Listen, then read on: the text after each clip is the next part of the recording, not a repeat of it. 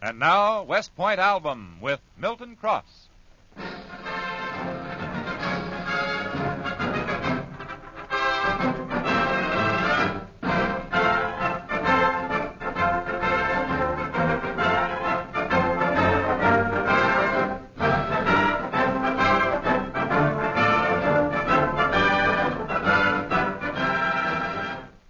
From New York City, the U.S. Army and the U.S. Air Force bring you a musical story of West Point, featuring America's foremost music commentator, Milton Cross. This transcribed feature is another in the series of The Voice of the Army.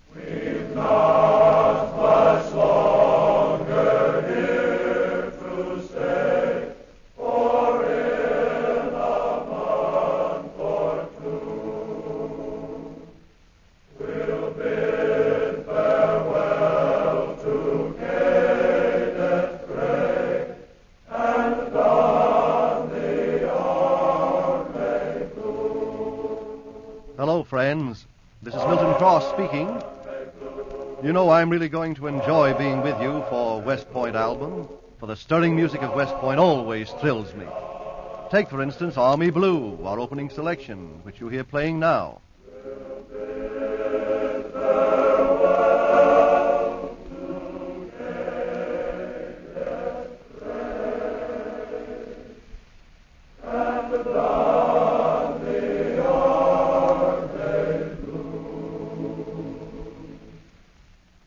Army blue dates way back to pre Civil War days when the Army was dressed in blue and West Point functioned much the same as it does today.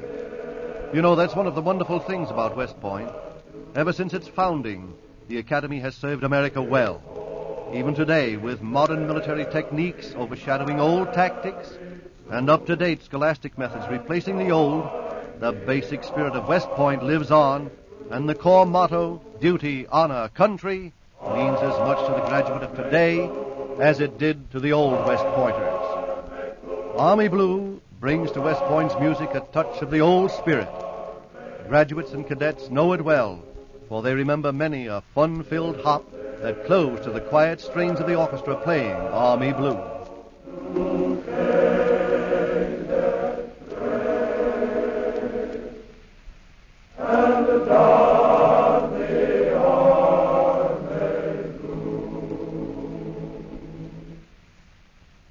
Tradition is very important to West Point.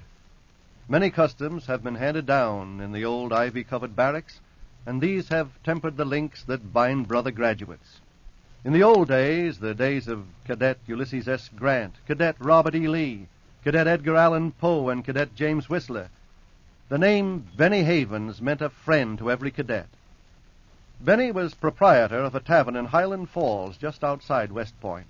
And through the years, many a legend has grown up around the after taps visits to Benny's and the lifelong friendships made in front of the fire over a brimming steinful of Benny's famous Catskill cider.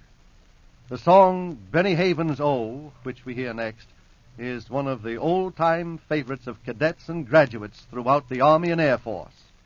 In the Army, there's sobriety, promotions very slow. We'll sing our reminiscences of Benny Havens O. Come fill your glasses, fellows,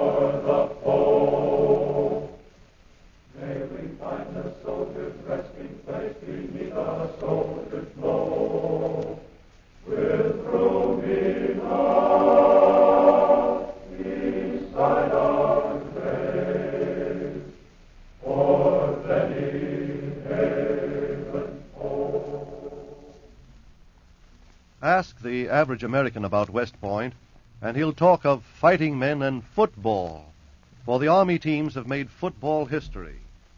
The Big Rabble, as the team is affectionately known by the Corps, dominates the interest of every cadet at the Academy. It's been rightly said that nowhere else in the country is a team more enthusiastically supported than the black, gold, and gray of West Point. The football season electrifies the whole atmosphere up on the Hudson. From September on, cries of On, brave old Army team echo through the areas in Sally Ports and across the plain. And the anticipation of planning for the coveted football trips adds to the autumn excitement. Why, even reveille is easy to take on a trip day. The Corps at a football game is really something to watch. One of the most stirring sights in the world is the pregame parade when the entire corps of cadets marches into the stadium. And what a cheering section! From the moment the last company has left the field and the corps is seated, the noise begins. No wonder opposing coaches warn their teams about these cheering cadets. Knute Rockne once said, Boys, when you play Army, you're facing 12 men, not 11. You're playing the team and the cheering corps. Yes, every cadet, plebe, and first classman, and every graduate at the game cheer as one man for the Army team. Little wonder that spectators catch the spirit and become Army rooters too.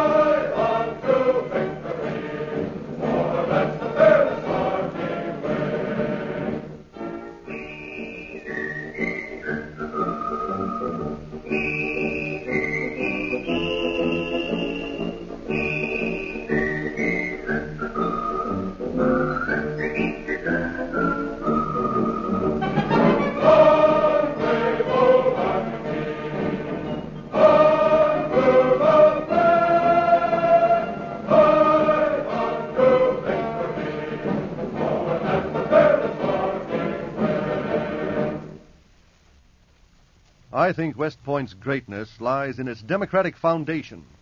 For at West Point, a man is a cadet and nothing more. His family background, former job, or social position mean nothing. A general's son, a farmer, and a boy from across the tracks live together and share each other's problems. A former officer, a combat sergeant, and an ex-petty officer have traded their war uniforms for the gray of the Corps, and each has the same chance for success. The Academy is a real melting pot, and these men who come from all walks of life enter the Academy and become more than individuals. They become part of one of the finest organizations in the world, and each member of this organization is dedicated to the principles of devotion to duty, the highest sense of honor, and unswerving loyalty to his country. One of the most impressive West Point anthems is The Corps. It has been said that more than any other song, this selection embodies the real spirit of West Point. For living or dying to honor the Corps, and the Corps, and the Corps. Our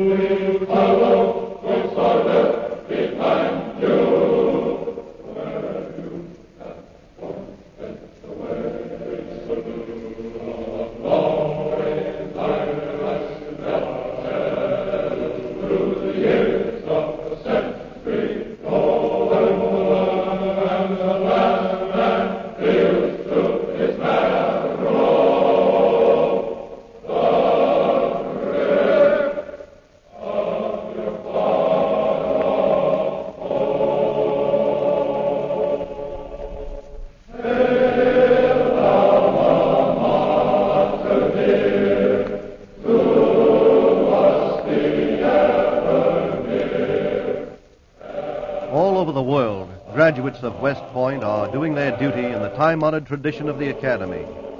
To cadets and alumni alike, the West Point alma mater is the musical bond which links these men and their ideals and makes West Point and its sons an important part of American life. Let duty be well performed, honor be e'er untarned, country be ever armed, West Point, by thee.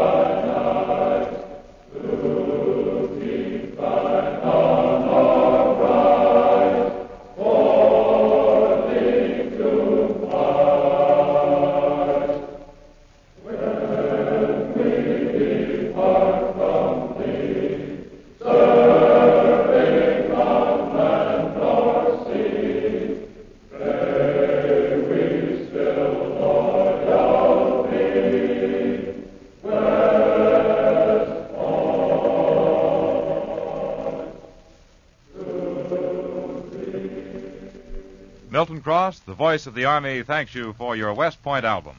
Your commentary on this wonderful music has given us all a better understanding of the United States Military Academy. Well, Joe, the music of West Point always makes for good listening, and I've really enjoyed being here to listen to it with you and our audience. You brought out some very important facts about West Point, too, Milton, especially the point about the former servicemen who are now members of the Corps of Cadets. For there are now 812 cadets who previously served in the Army and Air Force. And every soldier and airman who is qualified now has the opportunity to become a West Pointer. The doors of the United States Military Academy at West Point are open to qualified regular Army and Air Force men who have one year of honorable service and who meet the requirements of physical fitness, age, and mental ability. A West Point cadet receives the finest four year college education available, a Bachelor of Science degree, and the rank of second lieutenant in the Army or Air Force upon graduation. The serious minded men who have graduated from West Point in the past are the military leaders of today. West Point album with Milton Cross as featured commentator was brought to you by your U.S. Army and the U.S. Air Force. The program was written by Charles Wilkes and directed by Major Hugh K. Murray. This is Joe Ripley speaking. This transcribed feature has been another in the series of The Voice of the Army.